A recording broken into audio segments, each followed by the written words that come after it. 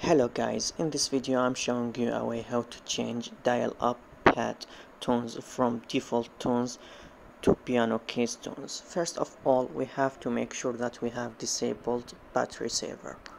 Then go to dial-up pad and go to call settings and advanced settings. Dial pad touch tones, then go to tones change it from default to piano keys after that it works. Like and subscribe for more videos